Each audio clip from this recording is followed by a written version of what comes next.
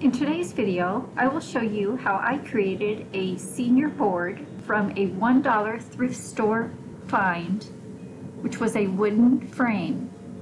I added a few accessories to the wooden frame to make it my own and make it unique for my senior. This is a great decorating idea for a graduation party or a senior night or possibly a poster board display at school. Stick around to see the finished product as well as the other senior boards on display that evening. My name is Zandra, also known as Piece of Scrap on eBay, Poshmark, Mercari, and Amazon. As an online reseller, I purchase low-cost items to flip them for a higher profit online. In doing so, I found this wooden frame for $1 at a local church thrift shop. Knowing that it was a rustic farm country slash home decor item, I thought it would be perfect in our new home. I hung it on the wall in the hallway for a while, and then my son needed a senior board for high school. The frame was a perfect start. The supplies needed to create this unique senior board include a wooden frame. You can purchase those. I would check the thrift stores or Goodwill. If you find nothing there, then go ahead and look at Walmart or a low-end retail store, perhaps Dollar Tree, something like that. You'll want to take the glass out of it if it comes with a glass, so you can place chicken wire behind it. You will need mini clothespins, also available at Walmart. Several printed photos, family pictures, baby pictures, high school pictures, professional photos of your senior. I used a black foam board in the center for his name and graduation year. You will need a pair of scissors, glue, scrapbook paper of your choice. Again, my son just wanted white paper for his name, so we just used white. I think a patterned paper would look perfect in this spot as well. I strung twine across the chicken wire to hold the pictures, and then you also need a pencil to do the stenciling for the name and graduation year. I will post this supply list in the description below, along with a link to Rakuten, which is what I use to shop through Walmart. If you haven't already signed up for Rakuten, you can earn $20. I also will receive $20, so do not feel obligated to go through Rakuten, but it's free money, right? So why not? Without further ado, I will go ahead and show you how I created this unique poster board for my graduating senior. We started with the empty wooden frame. We purchased some chicken wire at Home Depot. We stretched the chicken wire across the back of the frame and stapled it, pulling it tight and stapling it on the other end as well. From there, we added the black foam board to the center we punched holes in the foam board in the corner and tied it with wire to the chicken wire.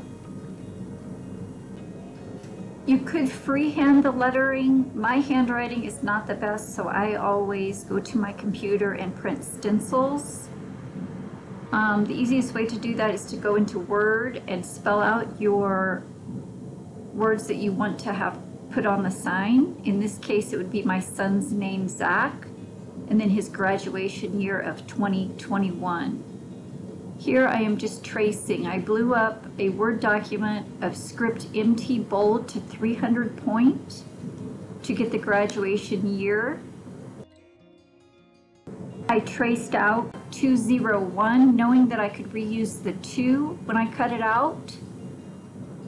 Again, my, my font is script MT bold at 300 point. His name is the same script font in 500 point.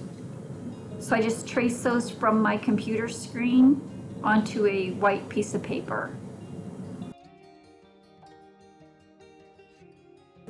Here are the letters that I traced from the computer.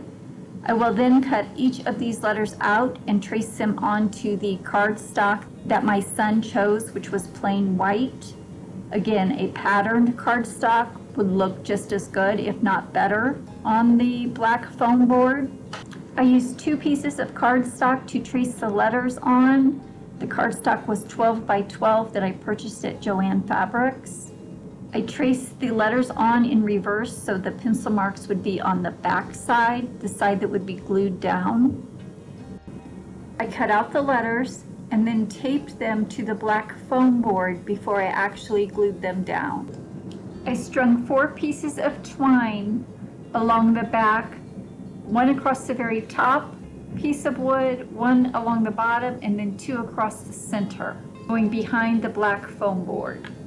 To complete the graduating senior high school board, I started adding photos, including baby pictures, family pictures, as well as grade and high school pictures. I arranged them on the twine using mini clothespins. Our completed basketball senior board looked like this. We chose not to add lights on it as we thought we had enough to decorate the board. There are other athletic boards on display, both for boys and girls.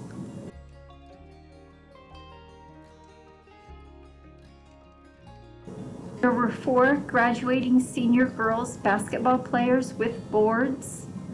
Three of the four chose to use pallet boards covered with photos, lights, and streamers. There was one that had a collaged picture frame, which was also very cool. I hope you enjoyed this video on how to create a senior graduating board from a $1 thrift store find.